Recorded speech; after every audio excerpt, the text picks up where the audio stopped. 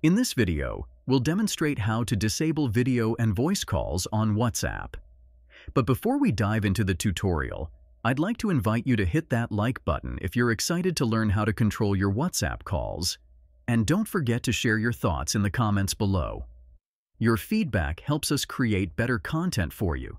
And if you want more tutorials like this, be sure to subscribe to our channel, Media Magnet Guide, with notifications on. Subscribing ensures you won't miss our future tutorials. Are you tired of unwanted WhatsApp calls interrupting important moments? Let's explore different methods to disable these calls on your iPhone or Android. Disable camera and microphone. On your device, navigate to your phone settings.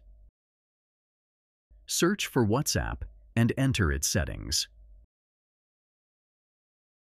Turn off access to the camera and microphone this will prevent you from receiving video and voice calls. However, it also disables the use of the camera and microphone within WhatsApp for other purposes. Disable notifications. In your device settings, disable all notifications for WhatsApp.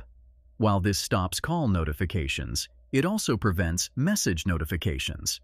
Keep in mind that important messages might be missed. Block specific numbers. You can block specific contacts within WhatsApp. Open the contact's profile, scroll down, and choose the Block option.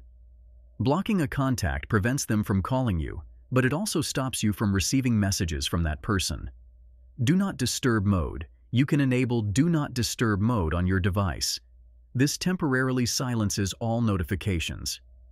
Calls, including WhatsApp calls, won't disturb you while DND mode is active. These methods offer different levels of control over WhatsApp calls. Choose the one that best suits your needs and preferences. By following these steps, you can effectively manage your WhatsApp calls and prevent disruptions when you don't want to be disturbed. I hope you found this tutorial helpful and that you've learned how to regain control over your WhatsApp calls. If you have any questions or comments, please share them below. Don't forget to hit the like button if you found this video useful and stay tuned for more tutorials on Media Magnet Guide. Thank you for watching.